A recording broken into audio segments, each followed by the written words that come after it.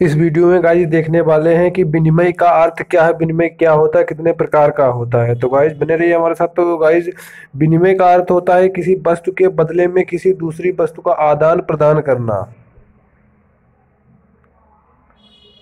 किसी वस्तु का आदान प्रदान करना जब हमारी किसी वस्तु के बदले में दूसरी वस्तु देते या प्राप्त करते हैं तो वह विनिमय कार्य कहलाता है। विनिमय को दो भागों में, वर्गों में विभाजित किया गया है। तो गाइज़ विनिमय का अर्थ होता है किसी वस्तु के बदले में किसी दूसरी वस्तु का आदान प्रदान करना। हमारी वस्तु के बदले में दूसरी वस्तु देते हैं या प्राप्त करते हैं तो वह विनिमय कहलाता है। गाइज़ मान लो आपने किसी को ए, दस किलो आलू दे दिए उसने बदले में आपको दस किलो चावल दे दिए। तो गाइज़ ये क्या हो गया? हमारा विनिमय हो गया है। तो गाइज़ वस्तुओं का आदान प्रदान ही विनिमय कहलाता है।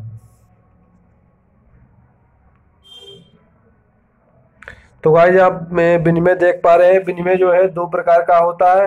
क्रय विनिमय और विक्रय विनिमय। जब हम कोई वस्तु खरीदते हैं तो उसके बदले में जो मूल्य हम देते हैं, वह क्रय विनिमय कहलाता है। गाइज़ हम कोई भी वस्तु खरीदते हैं तो उसके बदले में जो हम पैसा चुकाते हैं, देते हैं, वो क्या हो गया? क्रय विनिमय हो गया है। मान लो आपने कोई स्मार्टफ़ोन खरीदा है तो उसके बदले में जो आप पैसे देते हैं तो वो क्या? क्रय विनिमय कहलाएगा। और गाइज़ दूसरा देख सकते हो गाइज़ आप विक्रय विनिमय।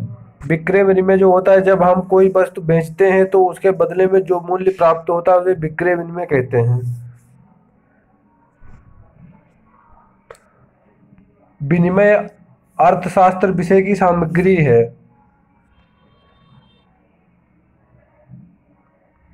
विनिमय विनिमय के प्रकार। तो गाइस विनिमय के प्रकार हम आपको पहले से ही बता चुके विनिमय दो प्रकार का होता है।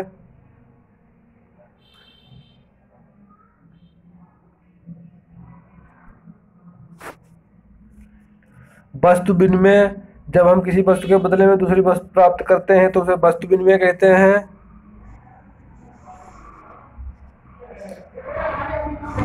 गाइज़ ये जो विनिमय हो गया, ये हमारा मौद्रिक दृष्टि से हो गया गाइज़ ये वस्तु विनिमय और हमारा जो इधर विनिमय दे रखा है, ये हमारा जो है विनिमय दो वर्गों में विभाजित है।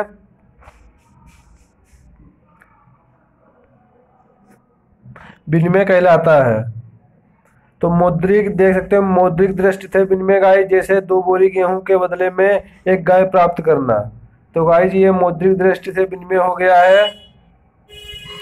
और वो गाय अर्थशास्त्र की दृष्टि से हो गया। तो गाइज़ यहाँ पर देख सकते हो मुद्रा विनिमय। मुद्रा विनिमय जब हम किसी वस्तु के बदले में मुद्रा प्राप्त कर, करते या देते हैं तो मुद्रा विनिमय कहलाता है।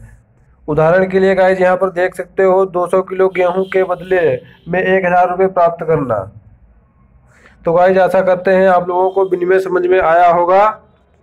तो वाइज हम लोगों ने इसमें देखा है कि विनिमय का अर्थ क्या होता है? किसी वस्तु के बदले में किसी दूसरी वस्तु को आदान प्रदान करना विनिमय कहलाता है। विनिमय के प्रकार देखे गाइज़ हैं। तो अर्थशास्त्र की दृष्टि से क्रय विनिमय, विक्रय विनिमय हो गया। क्रय विनिमय में जो हम वस्तु खरीदते हैं, उसके बदले में जो मूल्य चुकाते हैं, क्रय विनिमय कहलाता है। विक्रय विनिमय जो जब कोई वस्तु हम बेचते हैं, उसके बदले में जो मूल्य प्राप्त हो मतलब प्राप्त करते हैं, उसे विक्रय विनिमय कहते हैं।